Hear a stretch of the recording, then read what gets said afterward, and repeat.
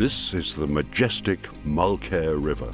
Home to a wide variety of fish species, the Mulkear catchment drains an area of 650 square kilometres spanning counties Limerick and Tipperary. The EU-funded MulkearLIFE project has been ongoing since late 2009. In 2014, it's drawing to a close. The project's main objective is to restore and enhance habitat for Atlantic salmon, sea lamprey and the European otter.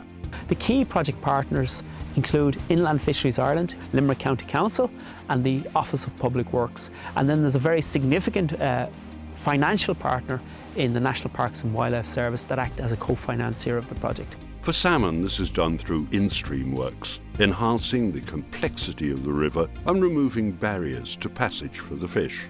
If we get the physical farm right, the natural ecology will recover and the fish numbers will increase. For sea lamprey, it involves installing tiles on the weirs of the river so that the lamprey can migrate upstream, as well as monitoring and tracking the fish. Their numbers have grown significantly over the past few years. We designed the very first sea lamprey tile that would work in an Irish context. It lowers the velocity of the water coming over the face of the weir and the sea lamprey attach to the base and wiggle their way up. It's as simple as that. The second barrier was at Ballyclough Weir and in the summer of 2013 we removed part of Ballyclough Weir which again facilitated both salmon passage and sea lamprey passage. For otters, it involves the installation of artificial holts, carrying out habitat enhancement works, as well as conducting otter surveys throughout the catchment. When we go surveying for otters, what we have to do is look for their signs. And there's two main signs we look for, there's footprints and also then their droppings called spraints. MulkearLIFE also undertakes significant riparian management work in cooperation with local farmers to keep riverbanks free from non-native invasive plants such as giant hogweed, Japanese knotweed and Himalayan balsam.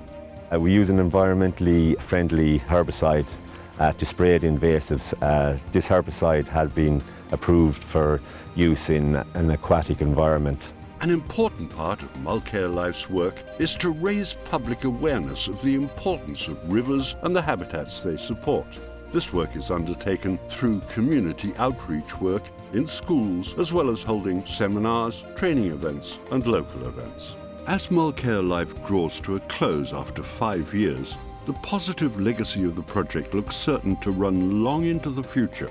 The successes have been immense. The various agencies and communities must now take up the baton to move forward the conservation blueprint established by MulkearLIFE to ensure the river continues to flow in all her beauty for future generations to enjoy.